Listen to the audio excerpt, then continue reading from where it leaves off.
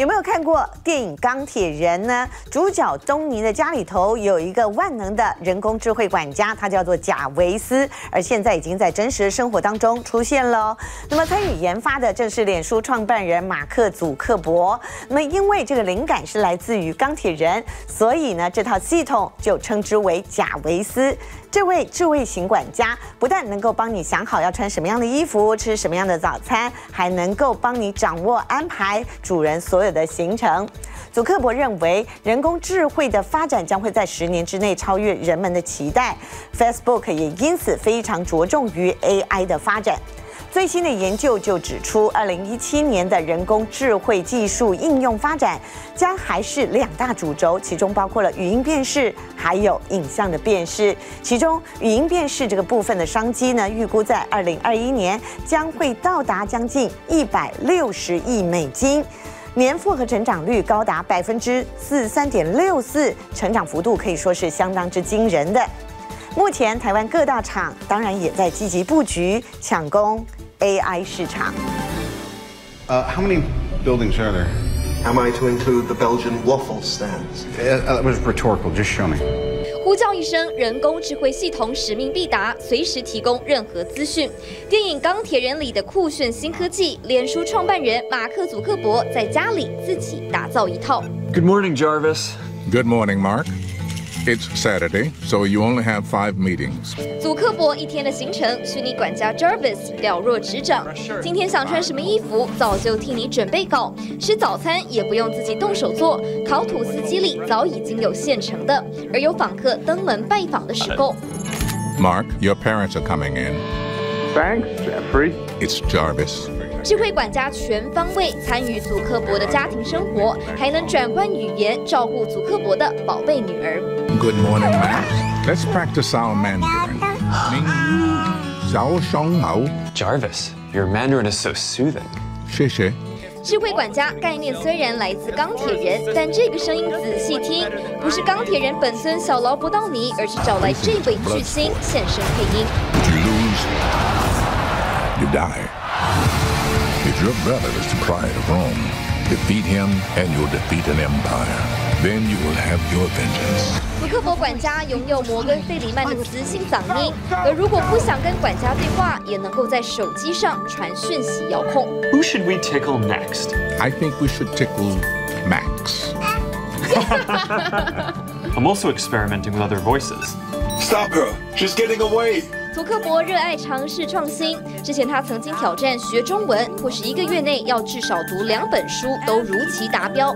未来，祖克伯还希望让虚拟管家变得更聪明，根据他的喜好跟行为模式，给出更精准的回应跟服务，善用人工智慧，创造便利生活。Hey Curry。只要听到自己的名字，这胖胖圆圆的机器人自动抬头、睁大眼睛，还会眨眨眼，就像是真人的反应一样。它是 Curry，是由美国 Mayfield 公司研发的生活机器人。Curry 不光是外形可爱会动而已，还会和人互动。Hey Curry，do you wanna play？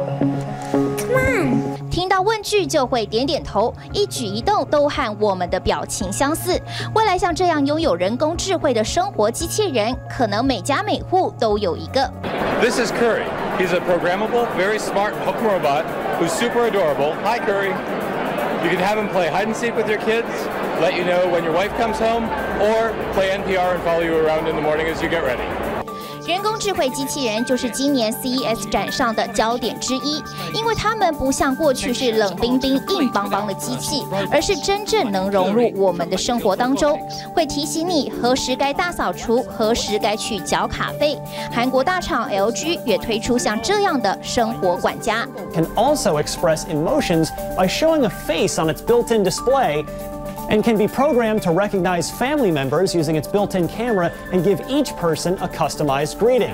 人工智慧的运用越来越广泛，英国新创公司更推出一款号称能够跟着主人的情绪一起进化的机器人，能够讲话，还有转来转去，就像是伸懒腰一样的动作，能够表达情绪，就是这款机器人 Ollie 的最大特色。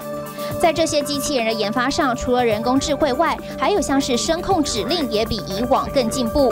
而人工智慧强大到什么地步？Google 研发的 AlphaGo 甚至以代号 Master 击败世界顶尖骑士，直到最后一刻才承认，原来 Master 就是 AlphaGo。不一定是零失误，失误极少。他比如今天跟我开始下手就有失误，那局面是态度不利的，所以他是有失误。AlphaGo 厉害就在于它能够在棋赛的过程中快速学习，把失误降到最低。人工智慧大跃进，恐怕已经超乎我们的想象。好，我们刚刚提到的机器人 Robo Home，它曾经呢在日剧里头大跳练舞而爆红。不过在真实世界当中哦，印象里头机器人跳舞总是呆呆的。台湾倒是有一位编舞家，他叫做黄奕，靠着自己所设计还有编写出来程式，跟机器人共舞，让大型看起来笨重的机器人库卡有着充满生命力并且细腻的舞蹈动作。黄奕的舞蹈天分也深受到美国表演艺术年会的肯定，称赞他是台湾第一人。目前呢，台湾其实也有越来越多的企业开始聘雇机器人，比如说台中呢有一家无人化的智慧旅馆，就利用机器手背协助旅客去寄放行李，从 check in 一路到进房，完全不需要柜台人员的协助哦，让旅客也觉得很新奇。另外有银行，大家也都知道，用机器人来充当迎宾服务员，噱头十足。而客人们的满意度又是如何呢？走进旅馆大厅，看不到任何店员，想要住房完全靠机器。请输入 check in 号码，手指按一按就完成 check in，这还不是最酷的。check in 之后，我们就直接来到机械手背的操作区，然后把行李交给机械手背，这样就好了。机器手背接收到指令，开始移动到行李箱的位置，然后把行李箱连同大型抽屉整个举起来，慢慢完成收纳动作。这下子客人完成 check in，笨重的行李也完成交付旅馆保管，可以轻松逛街去喽。啊，很先进啊，因为我也是第一次用这个东西。业者看好机器人的实用度已经成熟，打造全台湾第一家的无电源旅馆，就连国外观光客也慕名而来。那这台机器呢，是我们跟瑞士的 A P P 大厂去做合作的，对，那它整个包含软硬体还有系统的部分，大概耗资近千万。启用机器人当做旅馆的服务元素，噱头一百分。对于业者来说，更大的竞争优势是能够节省人力成本。当然，我们把一些比较基本，不管是 check in 还是寄存这件事情，都交给机器来做。所以说，我们有在房价上有把我们的房价给降低。根据 I F R 全球机器人联盟统计，二零一零年连续四年全球机器人需求每年增加二十趴。二零一四年需求最大的前五国分别是中国大陆、日本、美国、韩国还有德国，台湾则是排名世界第六。台湾在运用机器人服务的脚步算是跟上世界潮流。最让人印象深刻的就是这一只 Paper。看到记者前来采访，工作人员马上请 Paper 更换公司门口的电子看板欢迎标语，因为 Paper 已经是科技公司内部物联网的一部分。开关灯对他来说只是弹指之间，还可以远。端遥控电脑更可以自己操作荧幕画面做简报。我很厉害啊！我不仅会说话，还会控制大楼灯光与设备。只要你对住我说关闭柜台前电脑。电脑就会及时关闭。工程师解释，这样一支 Paper 硬体加软体花费大概台币三十万，已经可以从事各种迎宾工作。即使照顾它很费力，但还是合乎成本。更重要的是，让科技公司的形象具有未来感。同样保持这样子的信念，使用机器人的还有台湾的老牌银行。我要存款。存款条，取号码牌，稍后为您服务。民众开口要号码牌，机器人马上给一张。这一只红白配色的机器人，身高只有五十八公分，简直就像是个大玩具。它由法国公司制造，目前进驻台湾两家银行，成为老牌银行现代化的象征。我们只要整理够多的一些后面的数数据跟资料，然后经过一些统计分析，然后它可以做一些呃理财的推荐，或者是一些放款的分析。目前这个阶段的话，我们当然一开始就是跟他用一个。语言的沟通，那这个有一个自然语言辨识的功能，那他就可以听得出来说我是要办存款的业务。那未来还可以整合，比如说呃影像的影像的辨识，或者是 VIP 客户的一个辨识。不只是要迎宾，未来还希望机器人担负更多业务。银行解释，机器人完全由软体控制，不带任何情感，所以非常适合随时要处理大笔资金的银行业。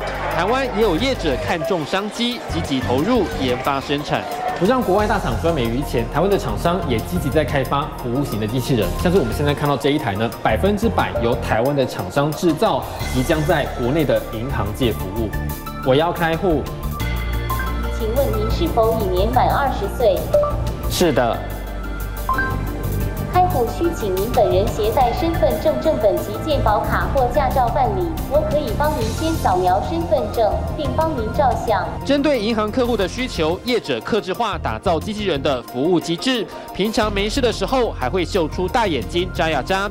更惊人的是，因为机器人连接公司的内部网络，所以只要点一下荧幕上的地图，机器人就会为客人来带路。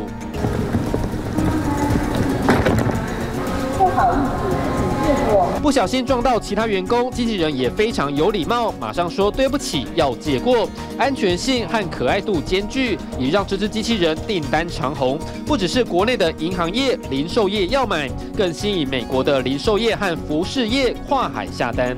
其实我们团队内部天天大家都在想这个如何让机器人在使用某个情境，其实它可能可以出现在卖场，它可能出现在医院，可能出现在学校，可能机场，甚至是博物馆、图书馆等。这些都是我们不不断去设想的情境。不只是服务型机器人，这家公司也开发这样子的小型机器人，目标是教育用途。如果说要让它走路的话，就可能必须要让它知道说，哎，哪一只脚先，哪一只脚后，然后前进的时候必须要知道说，哎，怎样才不会跌倒，然后重心在哪里。小孩也可以利用这个方式来学习如何编辑程式。学习编写城市的逻辑。各国机器人互相争艳，比造型更要比功能。业者预估，到了二零二零年，全球机器人产值上看六百亿欧元，折合台币超过两兆。想抢这块大饼，就看各家业者各显神通。